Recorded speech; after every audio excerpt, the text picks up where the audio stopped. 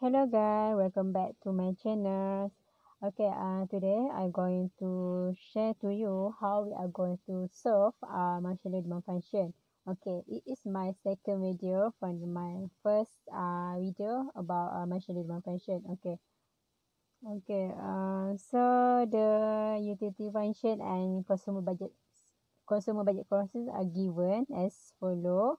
Okay, then what we need to do? Okay, first uh, we need to do the Lagrange. So we, we rewrite the equation. Okay, and then uh, we uh, and then uh, the second step uh, we need to differentiate x and to find lambda. Okay, so we multiply the power of uh, s which is alpha with a. So alpha a x uh, to the power of alpha minus 1 y uh, to the power of 1 minus alpha minus lambda times pi. So we make lambda as a subject. So we get equation 1. Okay, for the next step, uh, we need to differentiate y to find lambda. Okay, so we differentiate y. So the power of y, uh, y minus alpha, we multiply with a as alpha y, uh, y minus alpha minus a. So and then minus lambda times with the price of y. So we make lambda as a subject, we solve the equation and then we get equation 2. Okay, the next step, we need to differentiate lambda and then we find uh, i. So we differentiate, so we get negative product of x times x minus product of y times y and plus i. So i is subject and then we get equation 3. Okay, and then the next step, uh, we need to combine both equation 1 and 2 and then we can find whether x or y.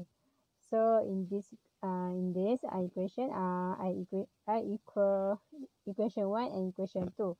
So we solve the equation.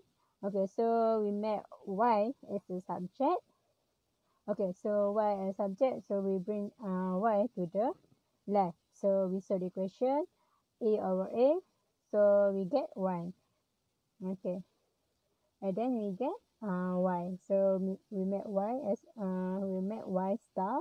So we get uh, so we get uh, temporary y as a equation 4. Okay. So the next step, we substitute uh, temporary y in equation 3. And then uh, we will get x measured. So we rewrite the consumer budget constraint equation and then we uh, substitute y uh, using uh, y star. Uh, y star. So okay the next step uh, we need to uh, we need to uh, multiply the numerator with price of go x times with s and multiply with i. Okay. And then uh, the red highlight uh, so will become zero. So we solve the equation. We make uh, x as a subject, py over y, py over py over 1, so we get x Marshallian. Okay, the next step, uh, we substitute x Marshallian in equation 4. Okay, so we rewrite the equation. Okay, so y equal y minus alpha. Okay, uh, px over px, we get 1. Alpha over alpha over alpha, so we also get 1. So we solve the equation we get y Marshallian which is y minus alpha multiply uh, vi over py. So we get y Marshallian. Okay, that's all. Okay, uh, guys, uh, if you have um, anything, uh, anything to ask or you have any question, just comment below and don't forget to like and subscribe. Um, if you do so, uh, I feel so, I feel so, I feel so honored um I appreciate so much. Thank you guys. Um thank you for watching and see you in my next video